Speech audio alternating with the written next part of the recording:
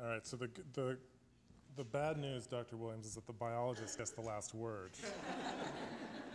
the, uh, actually, the other piece of bad news for me is that I have to follow that.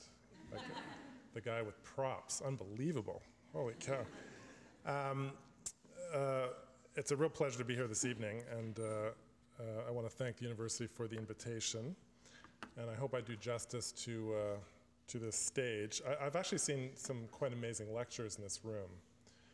Uh, in the late 80s, I remember I saw Abbie Hoffman here, uh, one, one, of the, one of the more prominent uh, US radicals from the 1960s, and he actually died a few months after he lectured here. Uh, Paul Watson, uh, you know, phenomenal guy, longtime head of the Sea Shepherd Society, still out there chasing Norwegian and Japanese whalers around. He's spoken here a few times. I remember I saw Gloria Steinem here, uh, one year, the, the wonderful US feminist. So I, it's, it's, a, it's, a, pleasure to be here, and I hope I do this, this stage justice. I have to confess, I'm a bit freaked out this evening, uh, mostly because in thinking about this lecture, I actually had to remember how many years it's been since I started my undergraduate at Guelph. And even though in my mind I'm still 20 years old, um, my wife laughed at that joke. Um, uh, in my mind, I'm, I'm, I'm getting terrible feedback. Um, I, I, realized in putting together this lecture that I actually started here in 1987, which I first arrived here on campus in 1987. So I want to put you in the mood for my remarks this evening by surveying the landscape of, uh, of 1987. and uh, so there's a little, uh, little time travel flashback here. In 1987, Maureen Mancuso's nodding knowledgeably. She's nodding knowledgeably. Whitesnake was the top of the charts in 1987. People had a lot more hair back then. Uh, I had a lot more hair. Uh, so Whitesnake was uh, here. People had a lot more hair. Leonardo DiCaprio, however, uh, in the middle, hadn't started shaving yet. Um, the the, uh, the, the, this is a true story. The only source of music at the Albion was a jukebox that played real records. And uh, like it was incredible. It was this thing. Anyway, so it, uh, that was that was all we had at the Albion was this jukebox. Uh, the Simpsons started in 1987. You'll note the drawing looks a little bit more primitive than it does now. Uh, Bart, like unrecognizable, right? Uh, and the world looked a lot different too in, in 1987. So Nelson Mandela was uh, still three years away from being released. The, uh, the Berlin Wall hadn't fallen yet. Uh, Brian Mulroney was about to be elected uh, for a second time. The, the, the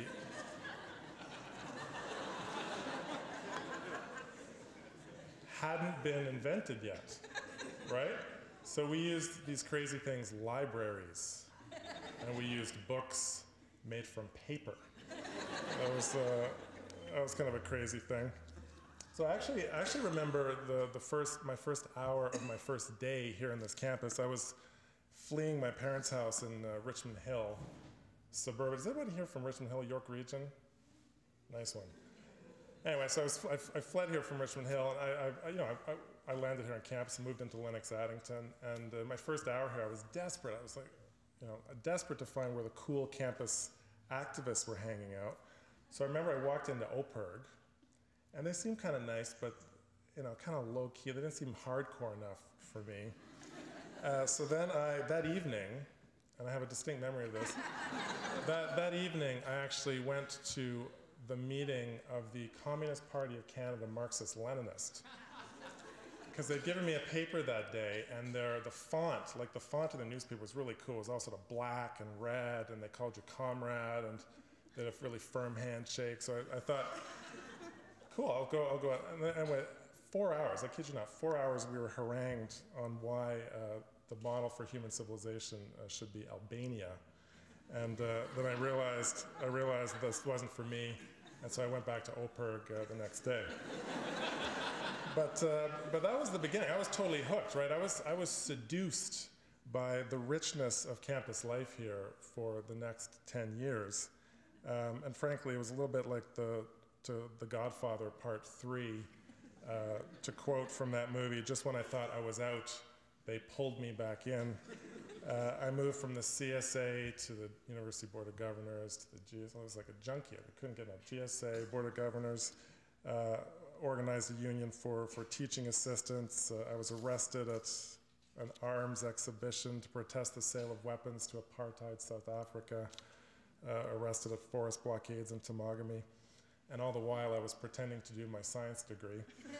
Um, my friend, uh, my friend Marty Williams, uh, who's here this evening, uh, has often threatened to write a book about student culture and activism at Guelph because it's such a long and amazing history, and I wish he would uh, write that book.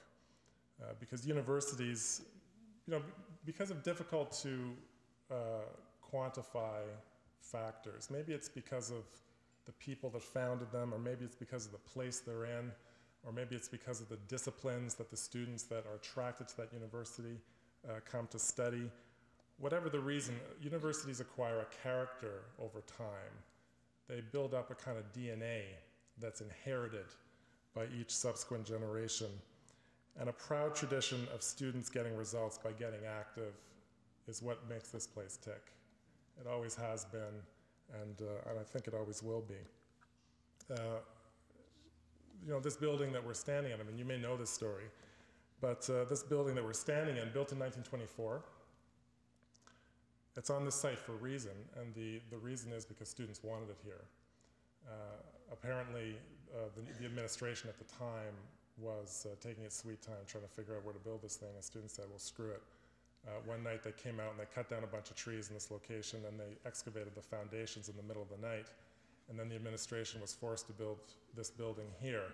and if you think, actually, it makes a lot of sense. If you think about the, this would have been early 1920s, so these would have been like uh, farm farm boys returning from the war, right? So I'm not sure you would have, if you were a university administrator, I'm not sure you would have wanted to, and they were drinking, they were drinking the Albion the night before.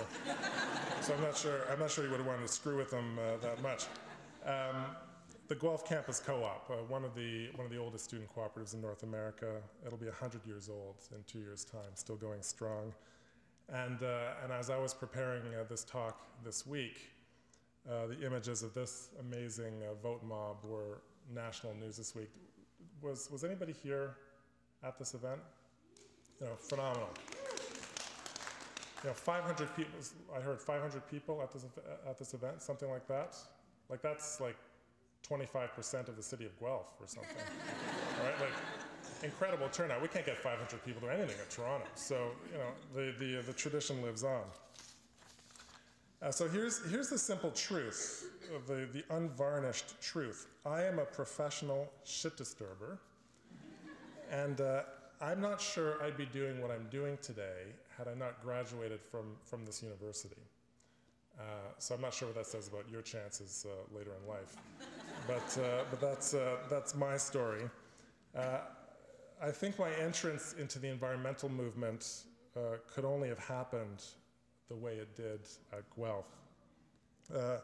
you may not know this, but up until the late 1990s, Guelph was one of the places in the world that you would go to study marine mammal biology. So generations of students went through here learning about seals and whales. Uh, and at one point, we actually had uh, about 20 seals on campus in, in, two facilities. One of them was an indoor facility um, over by uh, Zoology Annex 1. The other was an outdoor facility in the Arboretum. And uh, seals, you may know, have very uh, incredible loud vocali vocalizations that, depending on the day, sound like uh, little babies or people being strangled to death. So not infrequently, the campus police would get uh, phone calls in the middle of the night from students at East Residence, you know, petrified, you know, there's someone being murdered outside my door. They're coming for me. It's horrible. Right? And it would be the seals out in the, uh, out in the Arboretum, about, you know, 10, 15 seals out, uh, living out in the Arboretum. They're not there anymore, alas.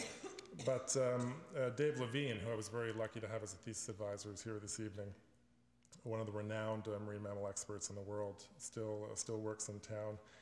And so I was trained as a seal biologist. I graduated as a seal biologist.